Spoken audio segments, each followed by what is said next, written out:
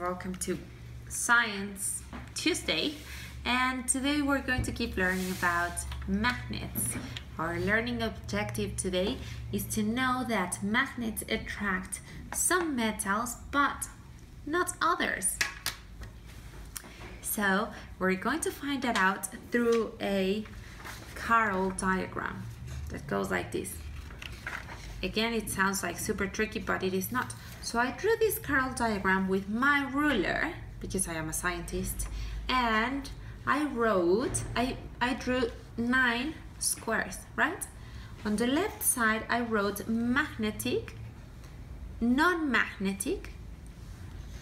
Here I wrote metal, in case my object is a metal, and non-metal. So I'm going to send you a copy or a picture of this so you can draw your own Carroll diagram, right?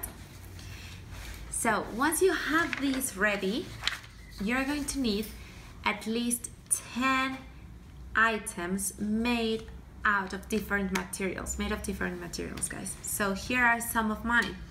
I have my favorite little car. I have a piece of paper from my clock. I have different types of coins. I have a paper clip. I have a key. I have a pencil, a rubber or eraser, a piece of wood, and my ruler as well. So I am making sure I have different materials, including metals, right? And of course I have my magnet. So this is what you're going to do.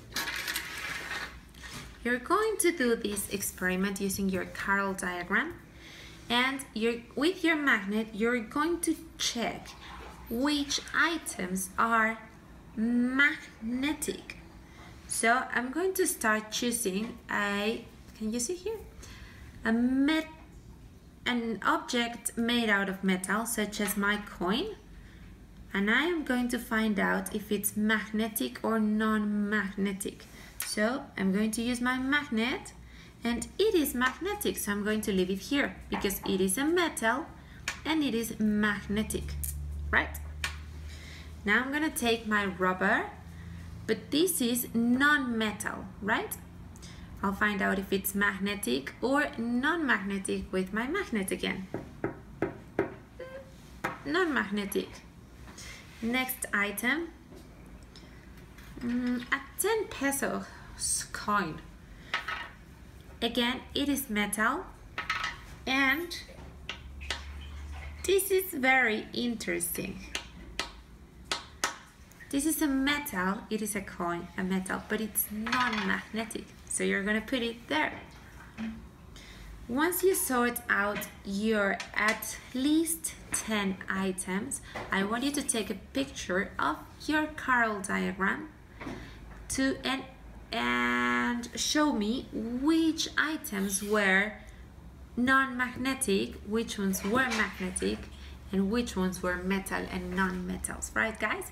Have a beautiful day and see you later.